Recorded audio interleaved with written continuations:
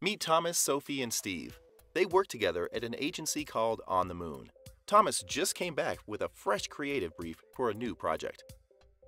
Let's see how they're using SpaceDeck to kickstart their project.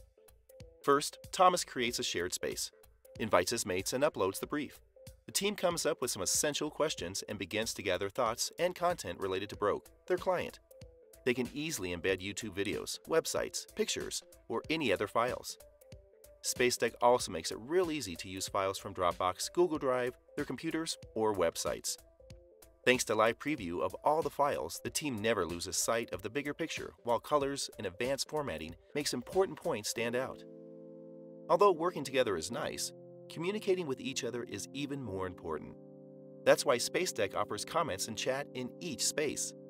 So after just a few minutes, Tom, Sophie, and Steve already have some ideas on how to tackle their project. Accessible for everyone involved. That's how SpaceDeck can bring your ideas together. Give it a try at spacedeck.com.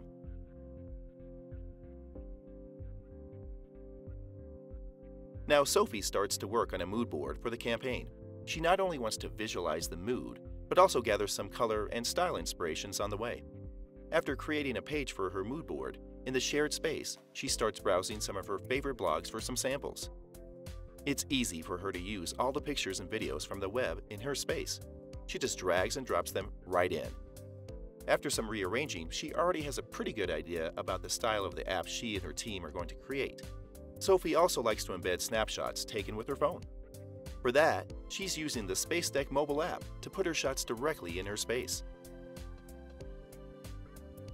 Her teammates Tom and Steve can always have a look, comment on things, or add their own inspirations.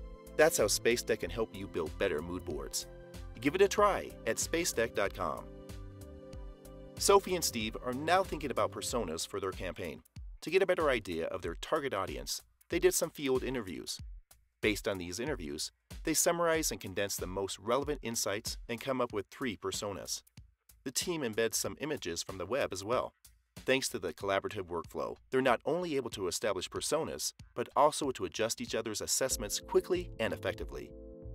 That is how SpaceDeck can help you create personas together. Give it a try at spacedeck.com.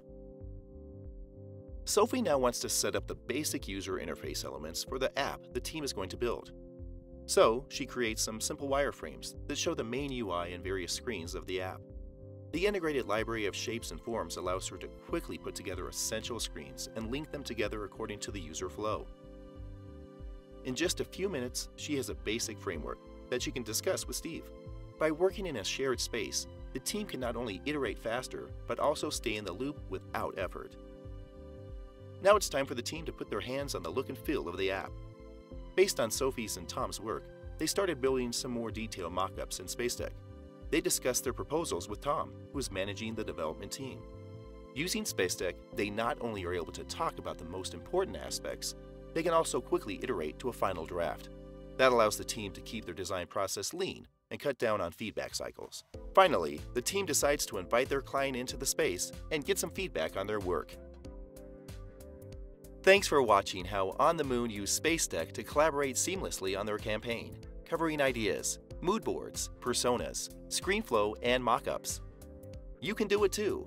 Give it a try at spacedeck.com.